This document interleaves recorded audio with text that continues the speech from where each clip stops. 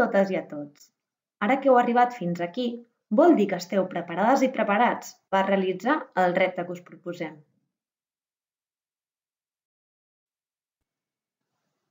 Imagina't que ets una persona que es dedica a la pagesia i que vol emprendre el seu propi projecte agrícola. Fa temps que tens la idea de ser una persona emprenedora i tenir les teves pròpies parcel·les per cultivar fruites i verdures i vendre-les al teu entorn.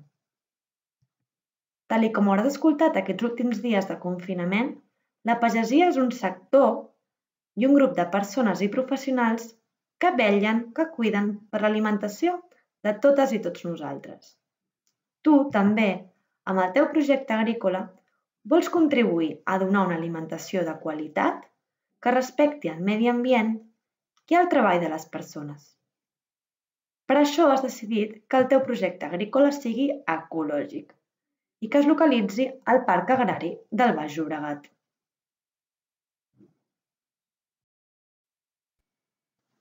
Ara atura't a pensar. Coneixes aquest parc? Has sentit a parlar algun cop del Parc Agrari del Baix Llobregat? Creus que en formes part? Penses que la teva localitat hi forma part?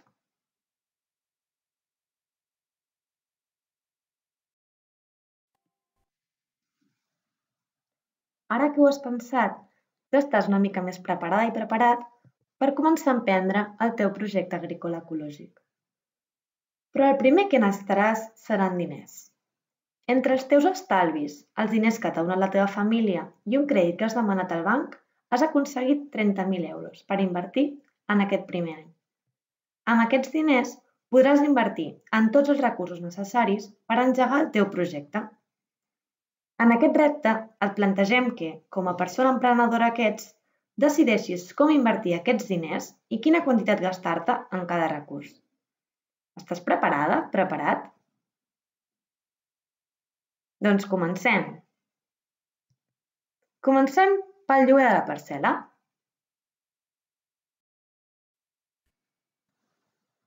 Per poder cultivar els vegetals, necessitaràs un espai el suficientment gran perquè creixin sants i poder produir la quantitat que desitges vendre al teu entorn. Quants diners dels 30.000 euros inicials invertiràs aquest primer any en el lloguer de la parcel·la? En aquest repte invertirem de mil en mil perquè sigui una mica més senzill. Pots invertir 1.000, 3.000, 9.000, 12.000, però no 2.500.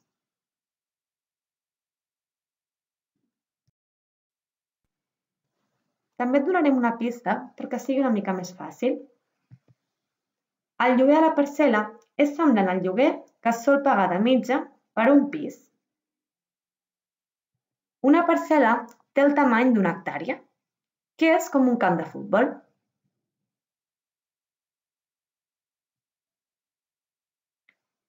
Si no saps ben bé quan invertir, ara és el moment d'aturar el vídeo i preguntar a les persones que viuen amb tu a veure si et poden ajudar. També, si tens sort, pots trucar alguna persona familiar o alguna persona coneguda que es dediqui o es dediqués a la pagesia i així que et doni idees des de la seva expertesa. Ja ho tens clar quan invertiràs?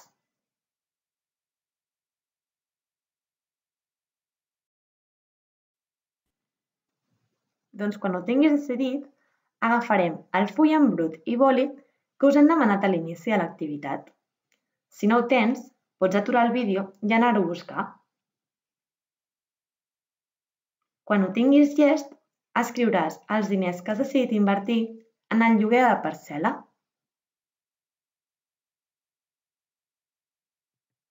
Fes-ho seguint el guió que et proposem, tot i que també, si creus que hi ha una altra manera de fer-ho, pots seguir la teva intuïció. Després, agafarem els 30.000 euros inicials i li restarem aquells diners que hem decidit invertir en el lloguer de la parcel·la aquests diners que teníem a l'inici de tot. Així podrem saber quants diners ens podem seguir gastant en els altres recursos. Vinga, va, no utilitzeu calculadora.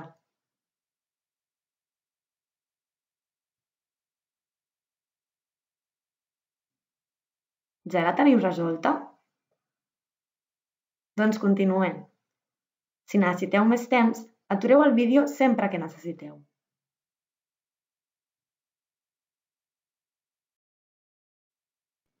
Un cop tenim la parcel·la, necessitarem planter llavors per cultivar en aquesta parcel·la i produir fruites, verdures i hortalisses.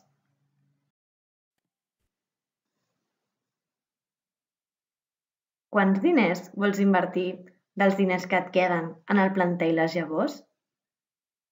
Perquè ho entenguis una mica millor, el planter són unes llavors que han estat cultivades durant uns dies en un espai petit, habitualment per una empresa externa. Així es facilita més el cultiu. Tot i això, són una mica més cares que les llavors, que directament les pots plantar tu als teus camps i fer els teus planters. Quants diners invertiràs?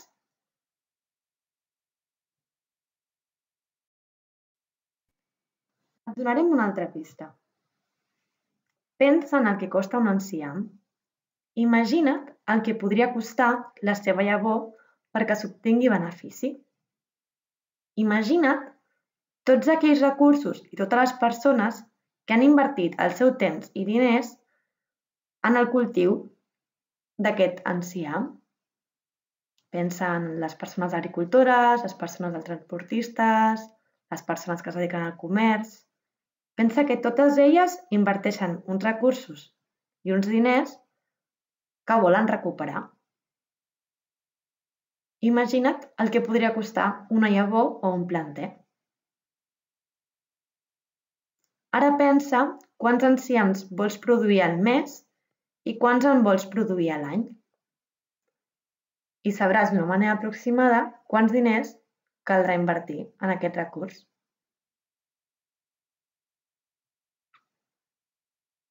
Si encara no ho tens clar, Pots preguntar a algú del teu entorn a veure si et poden ajudar. També pots buscar informació. A veure si fent una mica de recerca tens una millor idea. Però segueix la teva intuïció, que segur que l'encertes.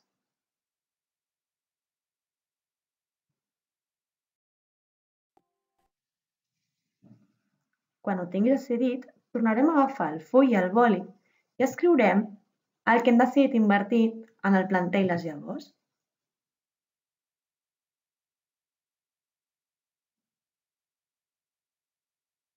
Per saber quants diners ens podem seguir gastant, aquest cop agafarem aquells diners que ens quedaven un cop hem invertit en el lloguer de la parcel·la i li restarem aquells diners que hem invertit en el planter i les llavors. Així sabrem els diners que ens queden.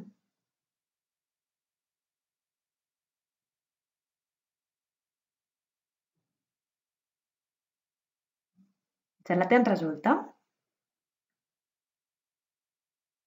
Doncs endavant.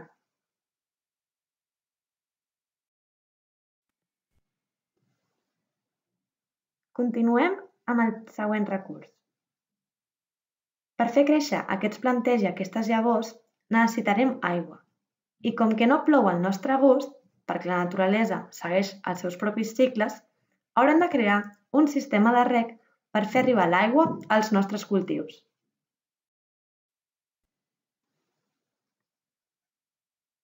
Quants diners dels que et queden invertiràs en el rec? Hi ha diversos sistemes de rec. Aquest de la fotografia és el rec per goteig.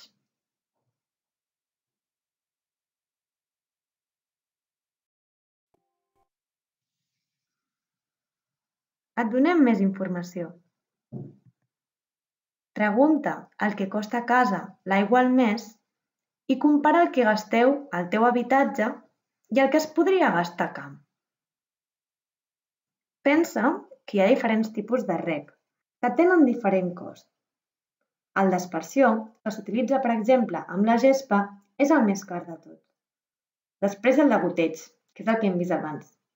I el d'inundació és el més barat, perquè s'utilitza l'aigua natural del riu per inundar els camps a través d'unes estructures, d'unes formes que s'anomenen caballons.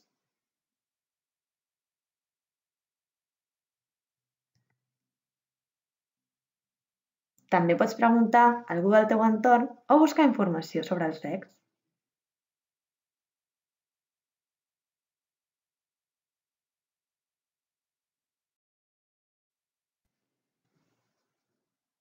I quan ho tinguis, tornarem a agafar el full i el boli i escriurem els diners que hem decidit invertir en el rec.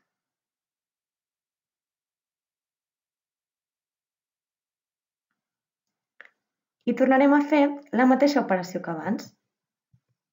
Agafarem els diners que ens quedaven un cop hem invertit en el lloguer de la parcel·la i el planter i les llavors i li restarem aquells diners que hem decidit invertir en el rec.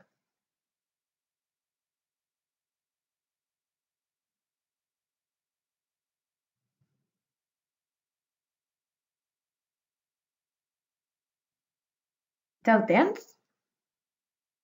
Doncs seguim endavant.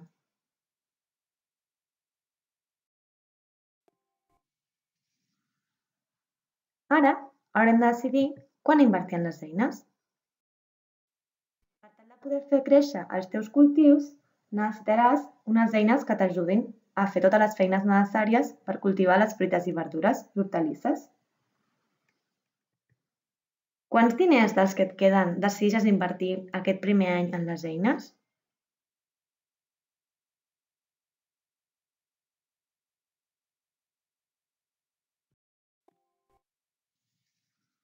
Aquí tens una altra pista. Quines eines són les essencials per començar un projecte agrícola? Quines creus que són les que són completament necessàries per fer-ho? Hi ha unes eines manuals que funcionen amb la nostra pròpia força i unes eines de motor que són molt més cares i funcionen amb benzina o amb electricitat. Quines creus que són aquelles que necessites segur?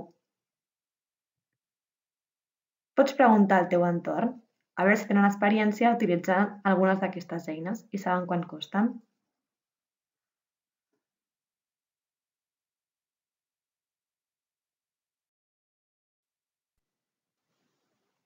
i tornem a agafar el full i el boli i escriurem aquells diners que hem decidit invertir en les eines.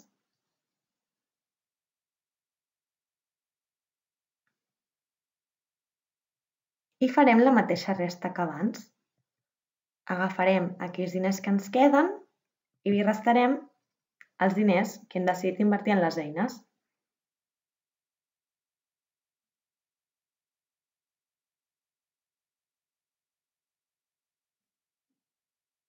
Ja ho tens resolt?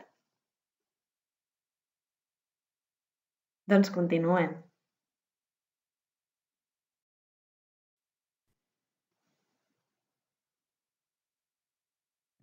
Seguim amb els treballadors i les treballadores de camp.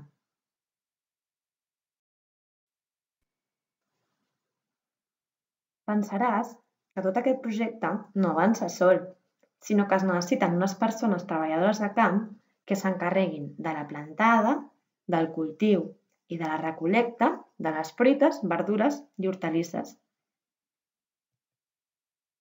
Quants diners dels que et queden invertiràs en pagar el sou de les persones treballadores?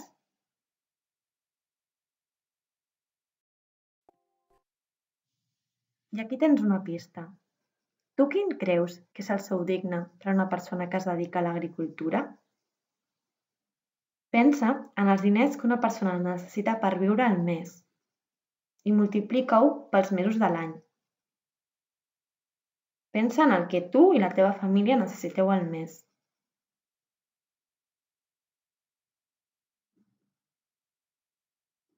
També has de tenir en compte que una empresa quasi bé paga el doble del que acaba rebent el treballador. Pots preguntar a casa com funcionen els salaris i quina part d'aquests són impostos per l'Estat i quina part d'aquests guanya el treballador i la treballadora.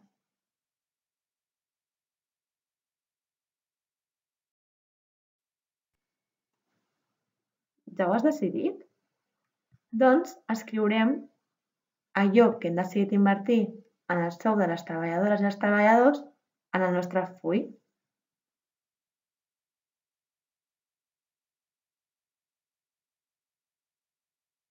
I tornarem a fer la mateixa resta de sempre. Aquest cop estic segura que ja la saps fer.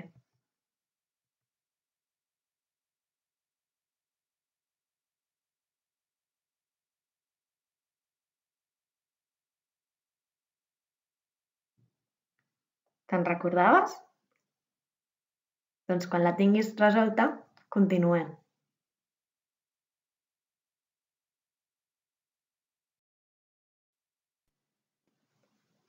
Seguim pels materials i els vehicles de transport.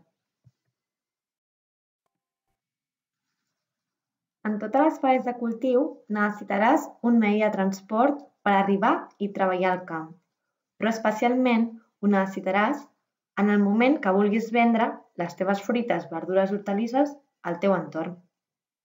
Així poder fer arribar la teva producció a diferents comerços i restaurants. Quants diners dels que et queden invertiràs aquest primer any en el transport? Recorda que això inclou tant, el, tant els vehicles com la benzina, el manteniment, com tots aquells materials específics per transportar els vegetals, com ara capses, cistelles o altres. Reflexiona. Quina creus que és la millor manera de transportar per tal d'estalviar-te costos? Quina és la manera més barata i més eficient? Ho pots preguntar a algú que visqui amb tu.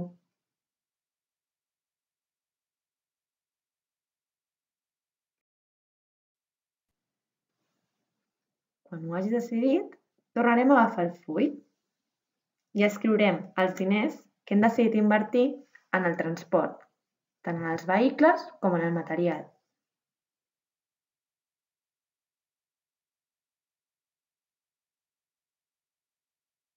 i farem la mateixa resta que hem fet fins ara.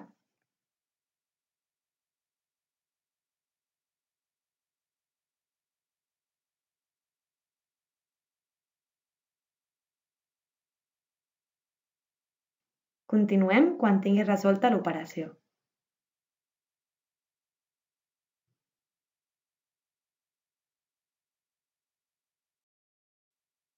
I anem per l'últim dels recursos l'administració i les finances.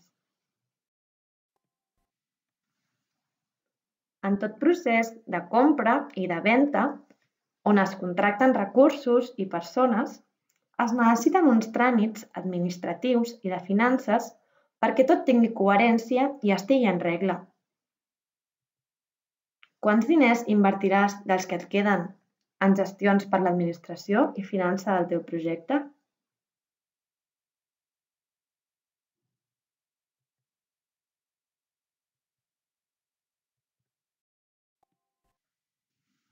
Aquí tens la darrera pista.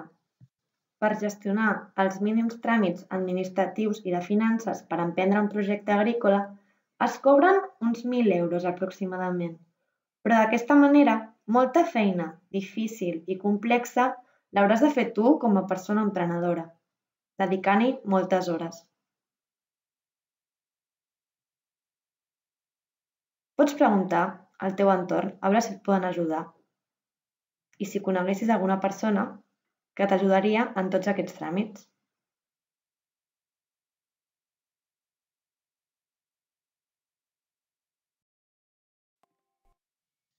Quan ho tinguis, tornarem a agafar el full i el boli i escriurem allò que hem decidit invertir en l'administració i finances. I farem per últim cop la darrera resta.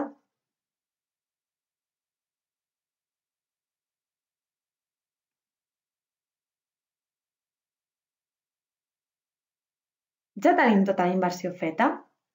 Ara, revisa bé que totes les dades estiguin correctes. Pot ser que t'hagin sobrat diners.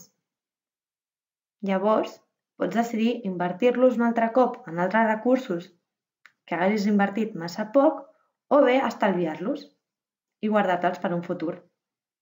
També pot ser que no et quedi cap diners i que ho hagis invertit tot. També està bé. El que no et pot quedar és negatiu, perquè això implicaria que hauries de demanar un préstec al banc i això acabaria tenint impactes negatius en el teu negoci.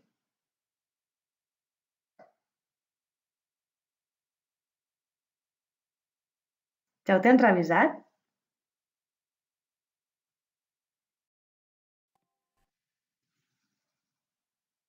Doncs enhorabona, ja tens el teu projecte agrícola ecològic preparat.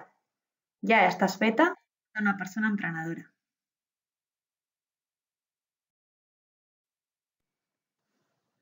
Ara, a la plataforma, et demanem que passis totes aquestes dades a un formulari.